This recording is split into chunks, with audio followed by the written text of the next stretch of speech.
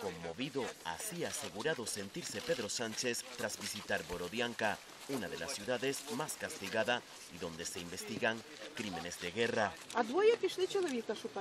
Así le ha contado una residente el horror que vivieron durante cerca de 40 días.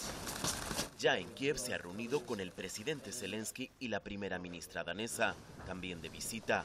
Allí se ha comprometido a enviar 31 millones para ayuda humanitaria, expertos que ayuden en la investigación y más de 200 toneladas de material militar. This is the, the largest shipment made up to now, more than doubling what we have sent so far.